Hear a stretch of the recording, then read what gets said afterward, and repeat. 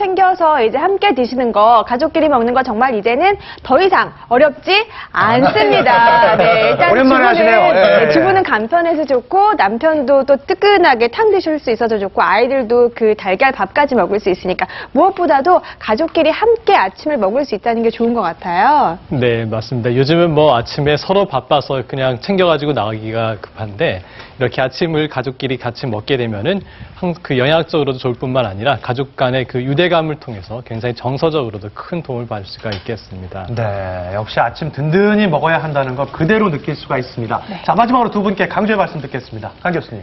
예, 요즘은 수험생들도 직장인들도 자꾸 이렇게 야행성으로 많이 패턴이 되고 아침을 소홀히 하게 되는데 어, 특히 수험생들 아침을 먹고 아침에 두뇌를 깨우는 것이 성적 향상에도 도움이 될 뿐만 아니라 우리 그 다이어트에 관심 많은 여고생들 어, 체중 관리에도 큰 도움이 될 테니까 아침을 꼭 챙겨 드시면서 건강한 생활 리듬을 되찾기를 바랍니다. 네.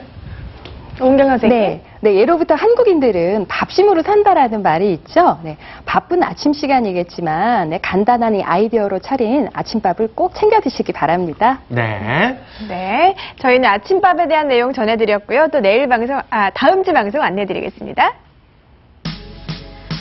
식생활이 바뀌어도 우리의 주식은 언제나 밥이죠. 하루 세 끼 매일 먹는 밥 잘만 먹어도 1년 건강 확실하게 지킬 수 있습니다. 다음 이 시간에는 내 가족의 건강을 지킬 수 있는 꼭 맞춤 잡곡의 황금 비율부터 활용법까지 다양한 잡곡의 새로운 변신 놓치지 마세요. 네. 저희 집도 사실 그 잡곡을 먹고 싶은데 어느 정도 섞어 먹어야 하는지 뭘 먹으면 좋을지 고민할 때가 많거든요. 네. 월요일에 그 해법을 찾아보실 수 있겠습니다. 네, 다음 주에도 함께 해주세요. 고맙습니다. 네, 다음 주에 뵙겠습니다.